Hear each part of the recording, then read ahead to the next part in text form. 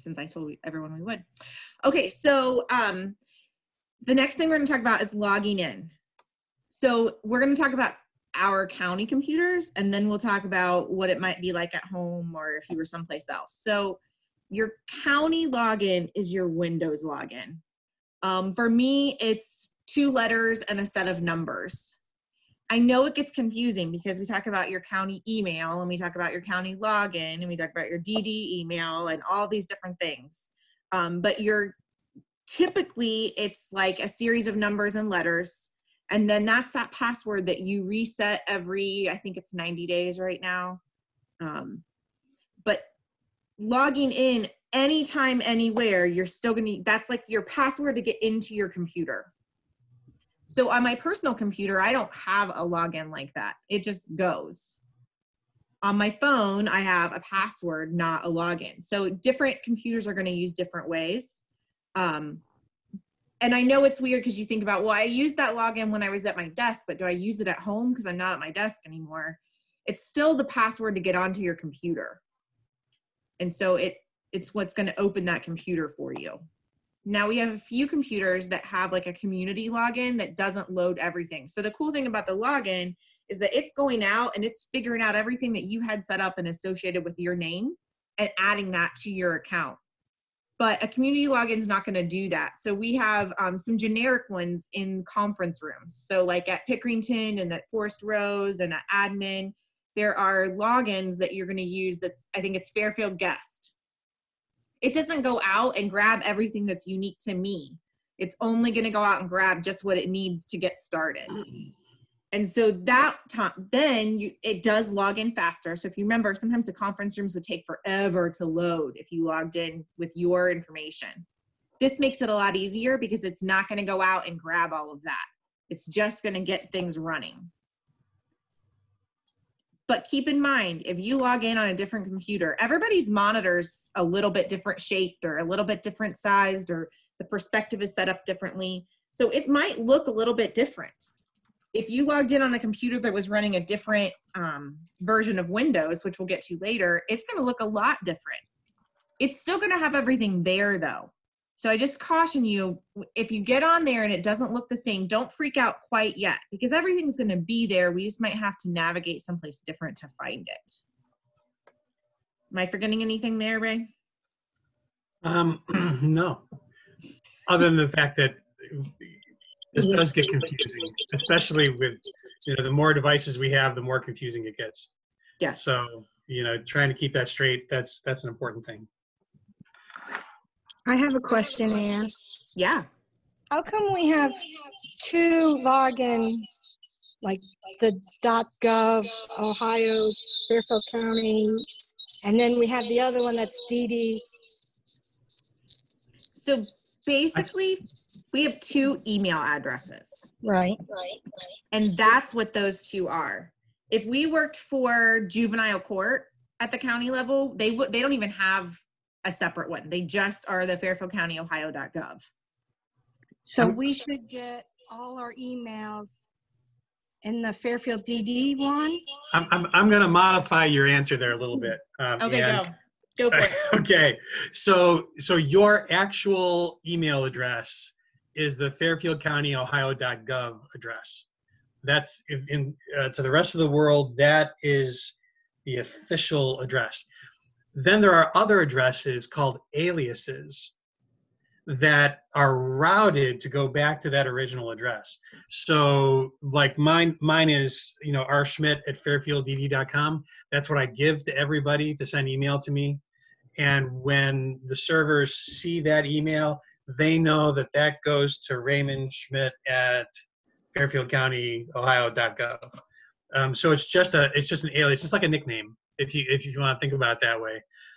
And and to be truthful, each one of us has about I, I, I want to say we It's have like 10, 10 or or 12. something. It's Yeah, we have like 10 or 12 different aliases. Those are just the two different ones that we, that we look at, but we try to grab it for any, anything that might happen. So like there's also uh, um, R Schmidt at mrdd.com, you know, and R Schmidt at pretty much any any uh, address that we've had before. We try to keep those so we don't lose those email. Okay. Why so many everything will addresses? Come to me under the Fairfield DD. I think they should, yeah. Um, Yeah. we, we like to stick with the Fairfield DD account because it, it helps identify our Mhm. agency as being Okay. specific, you know, s- different from the, the county. So, yep, that's, that's the way to do it. Gotcha, The thank nice you. thing- Why so many addresses? Why is What there was so many addresses? Why Um, is there part- so many addresses? Yeah, part of it's legacy, right? Because we've we've had email addresses now for, you know, well over a decade, and and so, you know, we didn't always have the FairfieldDD.com. Before that, it was other things. You know, we had MRDD.com for a while. We had um, um, just a, bunch of different um, addresses that have been valid at one time or another, and and so we've just uh, kept those. So we don't so if somebody has one of our email addresses from before they don't lose them. Periodically we go through and clean that up. And and i think we've been on fairfield dd long enough that eventually we'll get down to just those two just the main address and the alias. And i think we'll we'll, we'll be okay The nice thing about Microsoft and Outlook, though, is if you log into your Outlook account, because those aliases are built into our user preferences from the IT side, if somebody sends an email to my .gov email or they send an email to my DD email, it's all going to come to me. So for me as the recipient, it I can see it both ways. I don't have to worry about checking like two different accounts or two different places. yeah It merges it all into one mailbox. yep perfect But that's going to be different. So when we talk about our .gov or our DD emails, that login is different than the logging into your computer.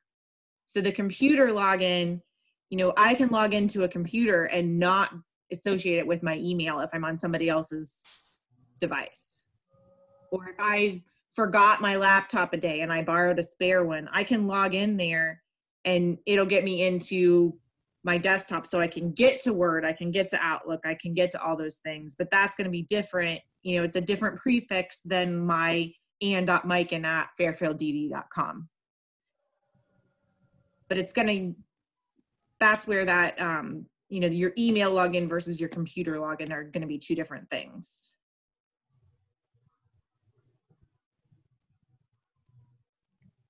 I know my computer went to sleep. Okay, so parts of a computer. This is desktop. I kind of it's just a really quick video and I'm I want to go ahead and share it because it shows you kind of the insides of the computer, which none of us really have to worry about. Um, but I think Ned's on the call. He probably and and Ray probably both at their some point in their life have um rebuilt a computer or played with the insides of a computer. It's not something I have ever done, but I'm a science nerd and I think it's kind of cool to see. So I'm gonna show this really quick for everybody.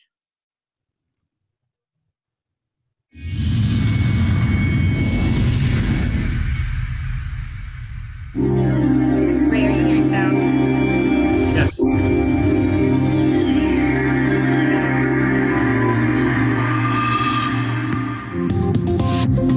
desktop computer is made up of several basic parts, and in this video we're going to show you what these parts are and what they're used for. The computer case contains the main components of the computer. This is where the actual processing happens. Today, most cases are tower cases, which means they stand up vertically. Sometimes you may see a horizontal case, which is often called a desktop case. In order to view anything on your computer, you'll need to have a monitor. The monitor connects to the video card inside your computer to display images and text on the screen. Most monitors have LCD or LED displays, which can be made very thin so they don't use much desk space. To save even more space, you can buy an all in one computer, which combines the monitor and the computer case into a single unit. To interact with your computer, you'll need a keyboard and mouse. Keyboards come in different shapes and sizes, for example, ergonomic and wireless keyboards. The mouse is used to control the mouse pointer on the screen. It can either be optical, which has an electrical eye on the bottom, or mechanical, which uses a rolling ball to detect movement. Some people prefer to use a trackball or touchpad instead of a mouse. These use less desk space since they don't need to move around when you're using them. So those are the basic parts of a desktop computer. As you can see, each part plays an important role, and you'll become very familiar with these parts as you gain more experience with your computer.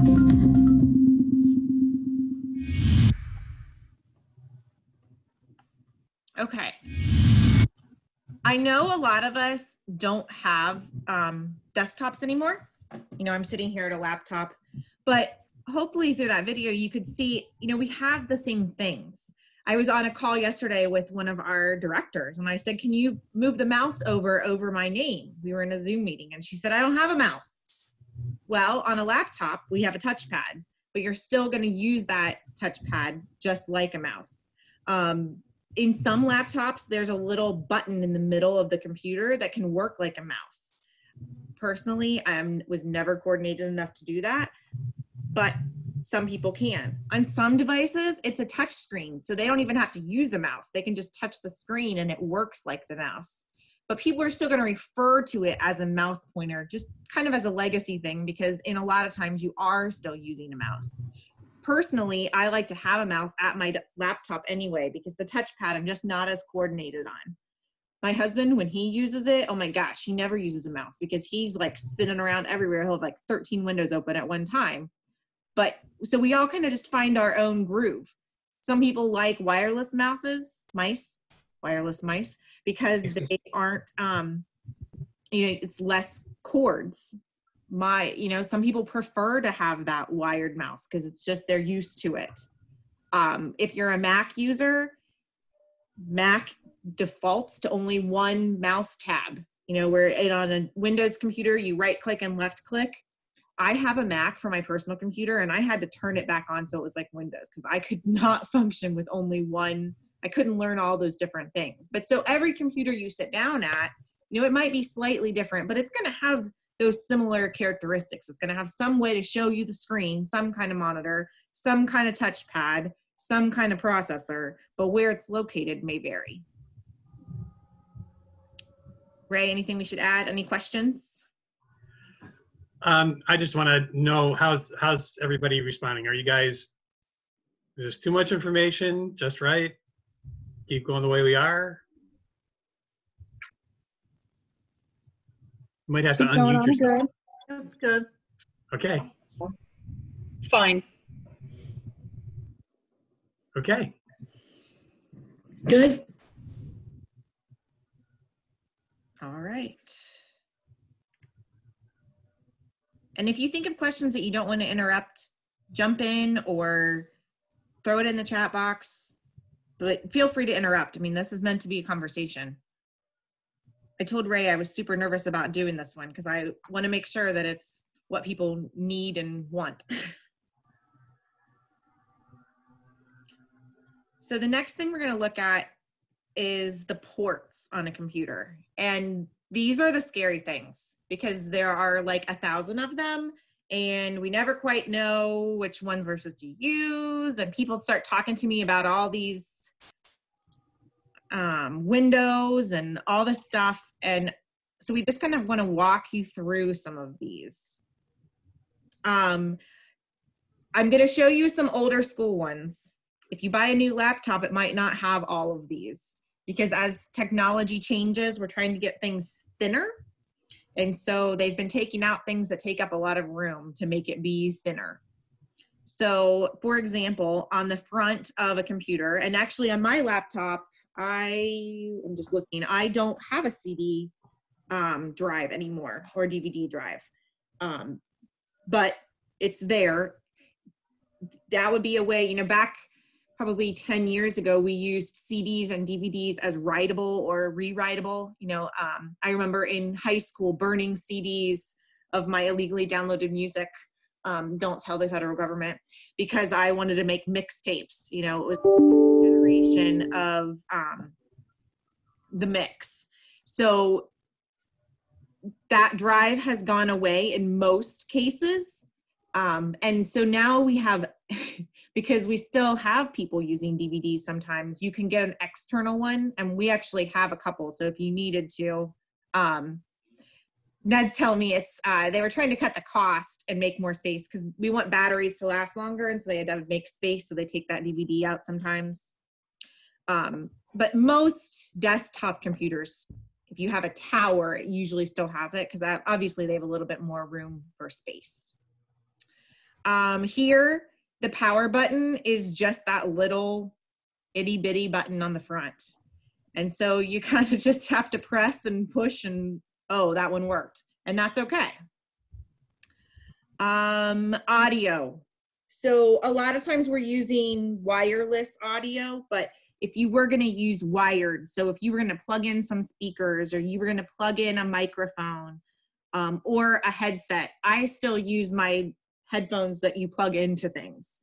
That speaker button, and usually most of the time, and I'm going to see if I can zoom in here a little bit so you can see it. Um, but most of the time, there is a little itty bitty headphone that is next to that jack that would go in for a headphone. So if you're plugging that in, and then there's an itty bitty little mic that's next to the jack that's for the microphone. If you're talking to somebody in technology, they might talk about the male and female parts um, or a male plug. Um, the if you think about when you go to plug in, you're going to have the female part going into the hole, and that would be the male part. Um, but so if you're looking at trying to match cables, they might say, well, it somebody in IT might go, is it male to male? And you're like, I don't know what you're talking about. If you think about um, anatomy, that will help you remember if it's male or female. The next couple down here are USB ports. So universal series serial. Um, no one ever calls it by its full name. It's always a USB. And now we've gone to like, there's all different kinds of even USB ports. I don't even I can't keep up with them. I would have to ask Ray or Ned to be like, wait, what kind of port do I need? Um, but typically that's where, you know, like the a flash drive or the wireless device for my mouse, things like that are going to go in a USB port. Yeah, just to, to add to that a little bit. So yeah, so you do have USB like this. Some of you have a phone with a USB-C connector on it. That's like a little rounded connector the, the big deal that you have to understand about USB is that when we went to that uh, a while ago now, um, USB has the ability to tell a computer what it is when you plug it in. And so for many, many devices, when you plug in something like a flash drive, like um, you know, a keyboard or a mouse or anything else you're going to plug in, um, the the computer will likely know what the device is and automatically load up the software it needs to run that device. That's the real saving grace of USB ports. Uh, before that, we had to define all that. So, so it, it's just, um, you know, that's that's uh, uh, something that's been a relatively uh, recent development. So the new thing that they're going to, um, if you think about um, a wireless mouse, for example. I'll use my wireless mouse as an example. I have to plug the little wireless adapter into my computer, and then I have to have batteries in my mouse. Um, a USB C, that's a new kind of cord. It's actually going to allow you to transfer the information and electricity. So it's a USB like charging. Um, that's kind of the future that they're going to. So as we get new devices in the next couple of years, like if we're on the upgrade list from the county, we'll expect to see some different kinds of USB ports just because as we um you know, as they kind of evolve. Um James is asking, do we think USBs will fade away because of HDMI? Ned and Ray, that is above my pay grade. Do you have a thought on that? it's a it's a good question. So HDMI is is a uh, is a video standard, kind of an interesting one. Um, so most of our TV sets run on HDMI cables. a lot of our computers have the ability to run on HDMI too. And and uh, what's cool about HDMI is that it transmits both the video signal and the sound signal at one time. So kind of nice. Um, HDMI also has different standards, and they're they're evolving their standards as well as TVs get bigger and better and and all that good stuff. Um, but I think they're distinctly different from USB ports in that uh, um, USBs are, are a little more um, um, they, they they handle much greater variety of of peripheral equipment coming in. So um, so for instance, I've never seen a, a, printer with an HDMI cable, but they will all have a USB um, attachment. Uh, it's just it's just one of those things where that's that's been really the standard. I think what you will see, um, and and we've seen it so far in things like the new USB-C port, but also things like the Lightning port from Apple, um, uh, some some other ports that are coming out. They're they're starting to become more and more transparent to the user, so that you just um, snap something in, plug it in, and it just works. And that's definitely where where we're going to. But you know, these things change all the time, so you know, it, it's it's interesting. I, I just bought a little machine, and it doesn't have anything except for two USB-C ports, nothing else. So yeah, it's kind of kind of wild. So if you think about it, before all of this technology, you know, for a while with computers, and that's kind of what we're going to see on the screen here, is that you had to have a separate cord for everything. And all we've been doing in the last five or so years is combining those cords so that you don't need so many. So, you know, if I look at the back of my laptop today compared to this desktop that we're seeing on the screen, my charging cord, you know, this is the plug where it, actually the power came from the wall to plug in the computer or plug in the processor, you know, it's a tiny little circle now. If I look at, you know, this is a port for um, a digital camera or something like that. Um, we have one for our audio. You know, HDMI can do all of those things. So I might just plug an HDMI cord in and it's, you know, gonna take my picture and my sound. So I didn't have to plug an audio in and a picture in. It's like when you were plugging in your VHR or VCR back in the day. Remember, you had to have like five different plugs. And the next generation, you only had to have three different plugs. That's kind of what we're doing in the computer world right now, too. So, just a quick look at all of these um, plugs in the back. You know, we have a lot of times the audio in and audio out, so the sound in and sound out, do have are color coded. They tried to make it easier for users, um, but they do have a lot of times, like I said, a little headphone symbol or a little microphone symbol. So if you were going to have a desktop and you were then going to add a uh, like a com- an audio video camera if you didn't have one, you know, like a webcam, you might use those ports um, the ethernet port. We're going to talk about this in a couple of minutes but this is where the internet is coming into your computer. Super important when you're um, if you don't have wi-fi. So and it's also important when you do have wi-fi and you don't have strong wi-fi. So we'll talk about that in just a minute.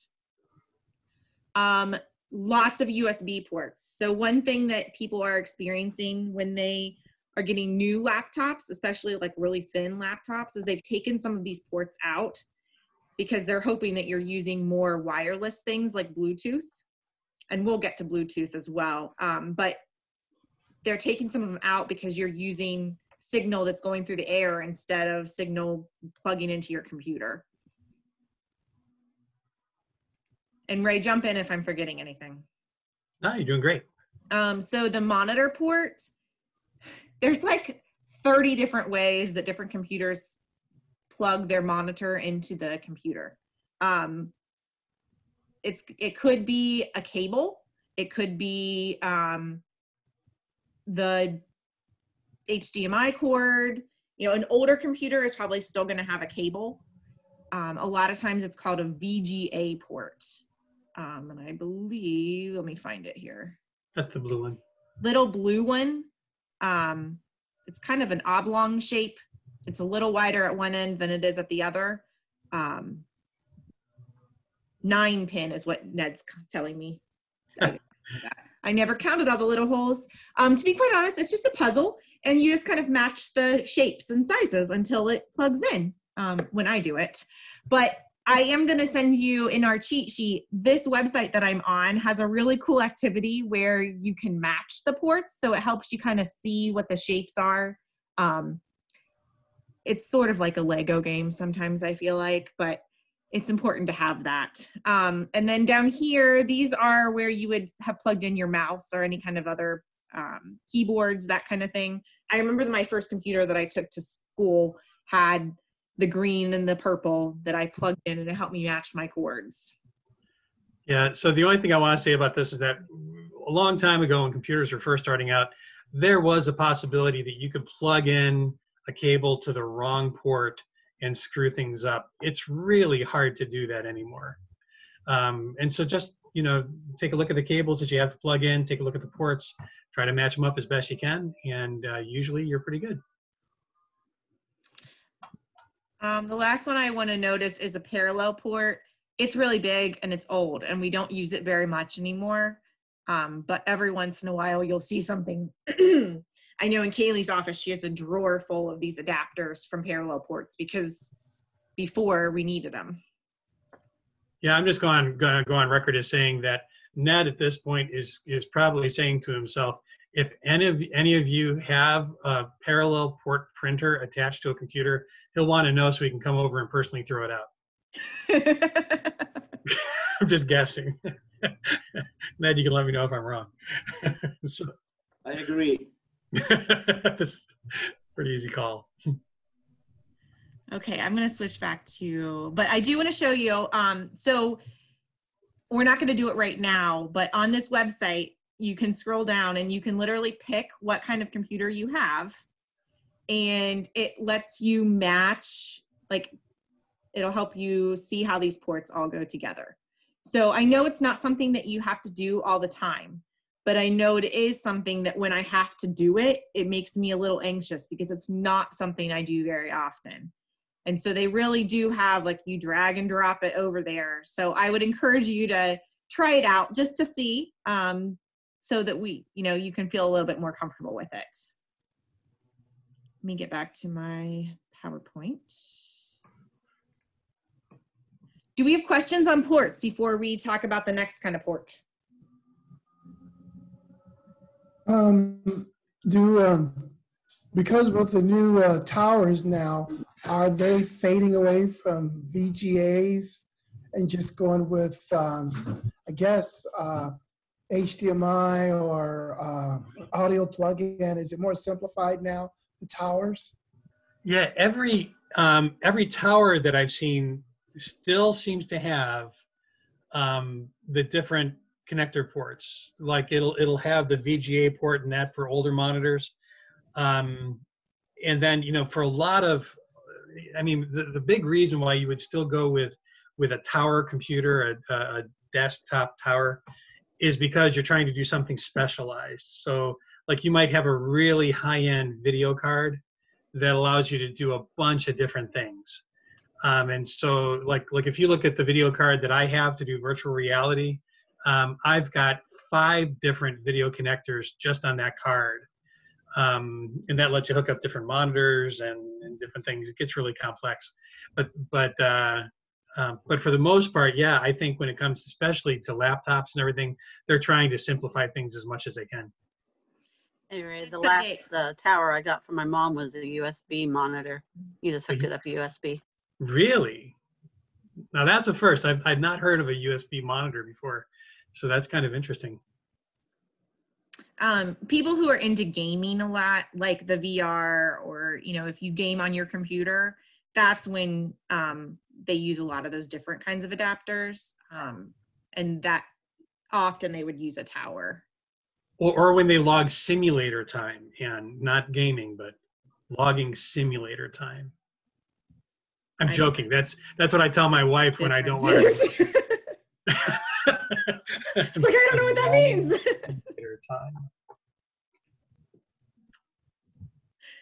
Okay, so your dock. if you got a new laptop or if you have a laptop, often you have a dock that is associated with it. Now, the laptop will run without it. Um, but if you think about on a laptop, we don't always have all of those ports that we just talked about. So if I have an old monitor, how do I plug that into my laptop if I don't have the right cord? You know, it doesn't match. And so a dock was another is another way to extend that connection, extend those ports so that you can have those. Um, I have two pictures of docks here. These are just two Dell docks. Um, one is like the one dock I used to have, and one's like the dock I have now. But they vary. My husband has HP, and his dock looks a little bit different. His charging port even is a little different. Like we can't use each other's chargers, but it's still those same shapes. It's still going to do the same thing. It just is located in a little bit different spot. Ray, do you have anything to add there? Um, actually, do you, do you want to unshare your screen for a second? Yes, please.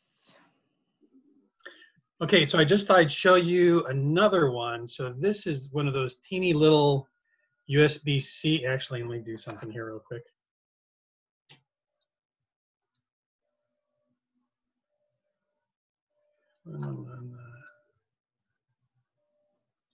Okay, so this this is the little USB-C port that we were talking about. Mhm. Really small, round. You can't plug it in the wrong way. Plug it either way. So this is a little connector that I have for that little laptop that I was telling you about. So that thing plugs into this thing, which is a hub that has all those different ports. It has an HDMI port here for, for displays and then all sorts of different things I can plug in. So this one little USB port can drive any of those um, just by plugging it in. So I just thought I'd, I'd, I'd share that with you. And these are cheap. These this is like 25 bucks. So When we Okay. presenters come to the auditorium at Pickerington, especially people who use um, a Mac, they moved away from some of those ports faster than some of the Windows-based companies. And so they often have to have one of those converters. And all you're really doing is taking it from one way and switching it around and getting it to go the other. I always think of that line in um, Apollo 13 where he lays all that stuff on the table and he says, You have to figure out how to get a round peg in a square hole.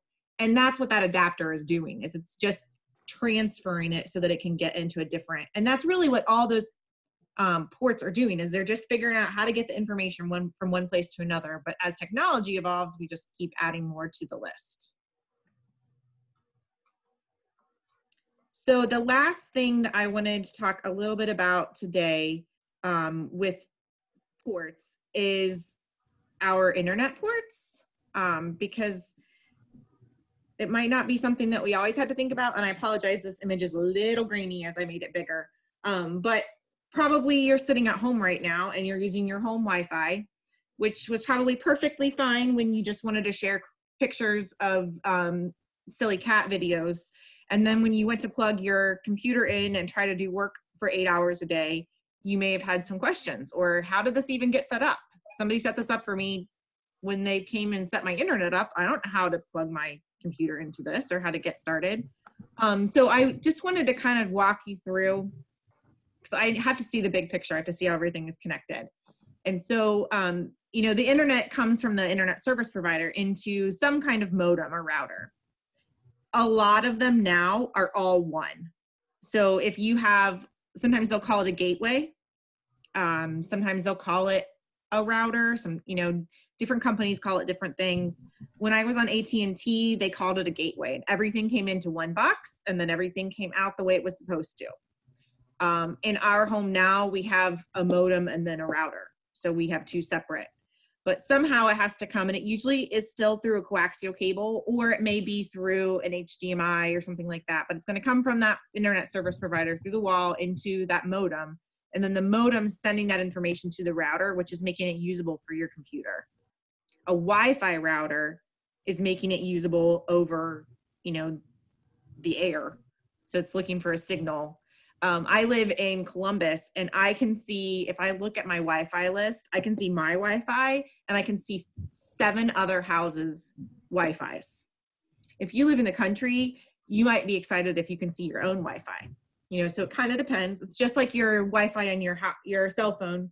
When you're close to the signal, it's stronger. So we had some folks when they moved remote that um, were struggling with getting connection on their computer.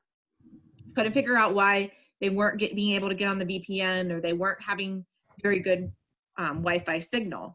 And so it seems silly, but even in our homes, a router still might not be super strong. So literally moving the computer, moving your body closer to the router can actually increase that. My brother has wireless um, cameras on his house, like as for surveillance outside. And he had to buy a router extender so that the router would be more powerful um, so that the camera could get the signal. So it seems silly, you know, in 2020 that we have to move closer to the router, but sometimes we just have to move better to a better signal. The other way to do that, even if you do have a Wi Fi, is to actually still plug it in. Because if you think about it, a cord is always going to be more reliable than the Wi Fi signal. Yeah, the other thing too, Ian, is that depending on your router and and your other hardware, um, the sometimes the Wi-Fi signal can't handle as much data as the cable can. Now, modern modern routers aren't like that, but a lot of the routers we still have in our homes um, can only handle a fraction of the total uh, what's called bandwidth, the total speed that our that our routers can can put out. So if you're having trouble, like like when we're doing something like this with Zoom, if you find that your video signal is is halting and and and every so often people freeze or you freeze when you're talking to somebody else, one of the things you can try to do is to connect your computer directly to that router if you're close enough, and that will more often than not increase your speed quite a bit. And that's going to use a cable that looks sort of like a phone line. It's a little bit thicker and it's a little bit of a bigger adapter, and it's called an Ethernet cord. So if you ever hear somebody reference that, that's the cord that's going from the router to the modem. It's also the cord that's going to go from the router to your computer. And once again, it's the only one that fits in the back of the, you know, it's the only hole that's on there. So you're not going to break it. I remember when I had my very my lap my desktop that had an ethernet cord and we still had dial up so it used to have a phone cord on the back too so as you know we just keep evolving and keep changing the nice thing is that a lot of times they are leaving some of these older ports on there so that we don't have to buy all new equipment every single time it could get pretty expensive all the time but that's kind of where we're going to stop today it's a lot of information if you don't know all those ports. And like I said, it's not, this is not something that you have to know every single day. But I know that um, recently we've had to learn it a little bit because we had to figure out why my Wi Fi wasn't very strong, or I had to take a desktop lap computer home or play with a laptop that I've never been on before because of the um, remote working. So we wanted to kind of put this in the forefront because it's an easy place to start. I will Ellen. tell you that if you buy a new computer, they give you very little in the way of instructions. They usually just give you one picture that says plug here and plug here and go. But if you look online, there's usually a lot more details. So even if you just look, you know, I got a Dell and it says Inspiron 200 on it. If you looked up user manual for Dell Inspiron 200, you'd be able to find that. And sometimes it's easier to read because it doesn't come in nine different languages. You know, like my IKEA directions, I have to turn it upside down and it's in German the other way.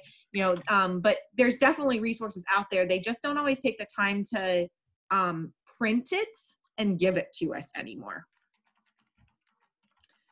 So with that, I'm going to turn it over to you all. You've been sitting here listening to me jabber for 54 minutes. What kinds of questions do you have still or that we didn't cover that we can real quick while we're here?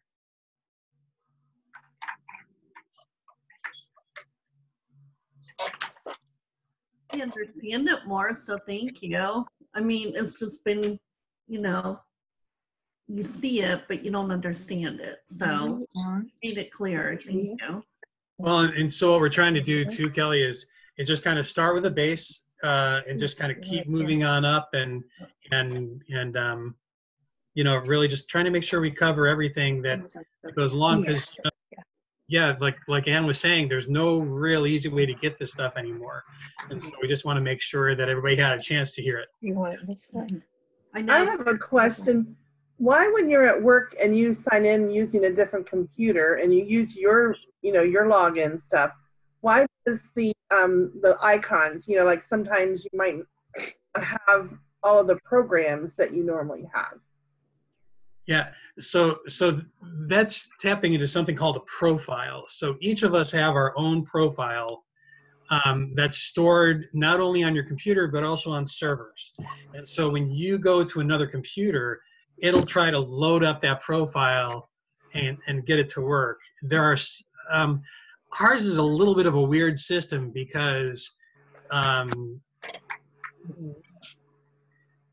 there there are some companies that just run computers that are nothing more than a terminal that goes into that, that displays stuff from a server so it's kind of like a dumb unit that you that you have and you just kind of type it in um, whereas we have active computers on everybody's desk as well as having those profiles stored on the server so that's why like when you go from computer to computer first off it takes you some time to load up that profile right? Because it's downloading it from a server onto that computer. Uh, and then the other thing is that some of our uh, software is loaded on your specific computer. And so when you go to another computer, it might not be loaded on that one. So it's kind of like a hybrid design that way. Um, good in that it's usually faster and it, and and you've got some more alternatives. Bad in that you can't just sit down at one terminal and have it perfectly come up on on another you know so so it's um yeah so those things are kind of interesting that way Mm-hmm. I can give you an example, Marie. Staff Training Manager is a program that I use that's on my computer. So I have the app. But if I logged onto your computer, it's only saved on my local drive. So it wouldn't Mhm. be yours. And so, So then, then there would be, with my icons because it's going to be gone. So then something else is going to move up. And I'm like, wait, where is it? Oh, where is it, where to go? Yeah. So then there, are there some that all of us have that are universal? You know, that, you know, I can on any computer and access, you know, like Gatekeeper, I can get on any computer and access you know, the internet and not have a problem with, you know, um, IS, for instance. Um, Yep. yeah most of the stuff that you do marie would would Mhm. should be universal on most of our computers the vast majority of our computers um, and as we move more and more to the cloud um, that's going to be even more like that so like for instance we've moved from having microsoft office so window excel win, um, word excel powerpoint all those things used to be installed on our computers now that's all in the cloud. That's Office 365. It's, it's up in the cloud, so it's more universal. Um, Imagine is a cloud-based solution, right? And now Gatekeeper Anywhere that we're getting ready to launch probably next week is, mhm. is also going to be a cloud-based solution where you can use it anywhere, pretty much on anything. You don't uh, with, with with Gatekeeper Anywhere, you don't even have to be on a computer at all. You can be on a tablet or even your phone Mhm. and you can dictate your notes into your phone and it'll write the note for you. Now that's exciting. Isn't that I cool? want to try that. you just have Yeah, to proof yeah. it. So, Sometimes that dictation is a little questionable. so that's just that's just a little that's just a little teaser there. But but yeah, so that's that's what we're trying to go to and and um you know yeah the, that that'll be really cool once it once it's up and running. Yeah, to get over there. But for Gatekeeper Anywhere, you know, if I had a shortcut of Gatekeeper Anywhere saved on my desktop, it might not show up on somebody else's desktop. Oh, okay. I can still access it, but I'm probably going to have to go to the web to get to it. Okay. I have a silly question. My camera is on my lower point of my laptop, so I'm always looking sideways. Um, my daughter Sarah, her computer is set up that way too, and she really does not think it's very flattering. No, it isn't. So, so she she has requested that the next machine have a very high mounted camera. I agree with her. I hate it. When I FaceTime, I have to like go like this. Like, Yeah, I can't angle on my neck and um, I will tell you though, when I am at my desk, I usually use my monitor as my main screen, but my monitor does not have the camera. And so Right, I'm on a video call, I purposely unplug it so that I have to be looking at the place where it is. Or I'm like looking over here the whole time because you're over here, but you're seeing me from over there. So Right. that's just something that I personally do just so that it looks a little more normal. okay, I'll have to try that because yeah, I'm always looking sideways like this. So, so now just as a, um, just to kind of reinforce some of the stuff we've gone over today. So one of your, the solutions here, if you wanted to, if that really, really bothered you, is that you can buy something called a USB camera. You can plug it into your, your, your USB port, put it wherever it's most flattering for you to have it. In my case, about a half mile away down the road. And and um, but then from Zoom, you would just select that as the camera that you want to use, and, and and that's that's all it would take. Thank you. I think I might use that. Oh, I have to go. Thank you for the information. Thank you. Our pleasure. Thank you. We'll, we'll we'll we'll tell you what we're going to do next week here in just a little while. So thanks for coming today. Thank you. My Thank phone you. died. That's why I'm on Pammy's now. That's okay. As long as you have the charger with the charging port to plug it back in. you're good to go. There Thank you go. you. We'll see you next Thanks, week. guys. Bye, guys. Thank you. Bye. See ya.